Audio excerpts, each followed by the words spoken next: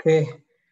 Um, so this video I'm recording to showcase um, how to set up the dynamic indicator. I get a lot of queries from people who um, might have some troubles with it. so how do you get access to it is by going to our website, which is uh, db.capital if you scroll down, you'll see uh, you can access the indicator from either services or from here. Um, when you come to this page, you'll see the, the details about the indicator, the backtest performances, and um, how to automate uh, automatically trade this. There's also a free access request, which is here. So when you click on that, it'll open a, a registration form page for you uh, once you fill it out and we get access, uh, we'll provide you with indicator access. Uh, so once you get the indicator access, what you can do is you can go to TradingView. You can open your own chart. So let me show you quickly from the start. So you go to uh, tradingview.com. Uh, if this is the first time you're using this, you'll get used to it. But then um, once you visit the TradingView website, you can quickly see uh, this link on chart. So you click on this link and it'll open the chart for you. Uh, you know, which will show up on the screen in a minute. Um, one thing to keep in mind is that this indicator is not free for all. So you will only get to see this indicator if you uh, requested an access from us. So right now it is here. So let me, let me delete that. So this is the kind of chart that might open up if you open it for the first time. If you go to the notifications, you'll see uh, when we provide you the access, you'll see a notification here. So that is a confirmation that uh, you have been provided access. It's in the, this bell icon on the right hand side you can click.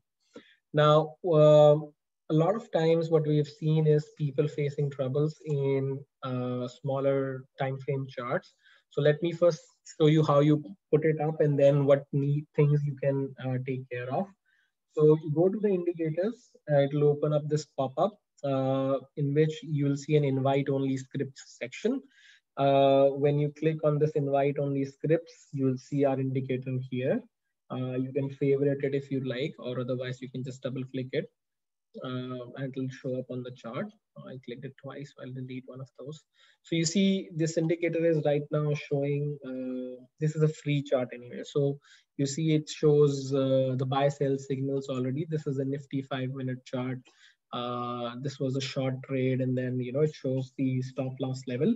Um, this will show up on Nifty and Bank Nifty. So what it will not show up is you have to ensure that you are on the Nifty index and not in the uh, Nifty futures. So if you change it to Nifty futures, you'll see uh, the results do not show up. Uh, so it will not show up on Nifty futures. It has to be on Nifty index uh, like this. Also, it will, the same thing applies to the Bank Nifty. So it will show up on Bank Nifty uh, right here, as you can see, but it will not show up on Bank Nifty futures. So that is the first thing you have to take care of uh, when you're applying this.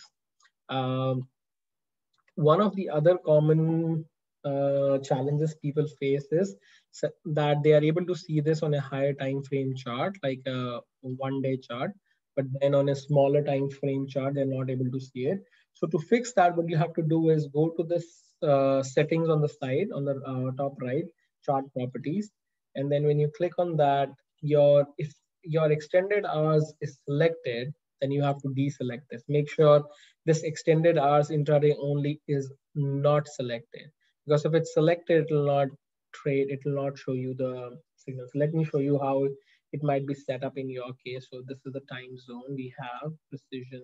Uh, okay. uh, so, you know, if this is selected, you'll not be able to see the chart. So make sure this is not selected uh, that is the best way and the only way that you will be able to see this uh, uh, indicator on the smaller time frames of 5 minutes, 15 minutes, or 20 minutes. Uh, you can also write to us, you know, you if you want to connect with us, if you're not able to figure out what you can do is, you can go to our website, which is db.capital. You can uh, connect to us on the Twitter, on Telegram, or even on the YouTube, uh, wherein we can find uh, solutions for your uh, trading. but hopefully this will be of helpful uh, of help. Uh, thank you very much.